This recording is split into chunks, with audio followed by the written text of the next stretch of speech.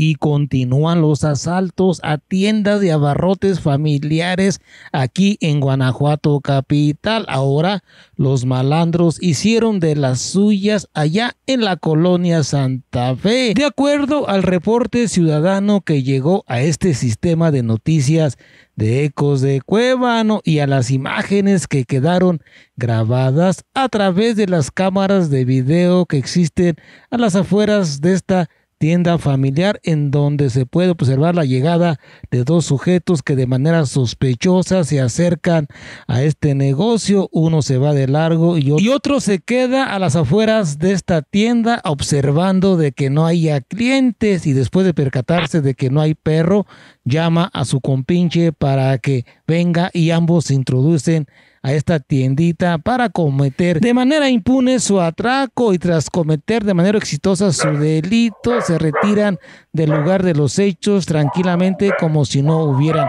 hecho nada.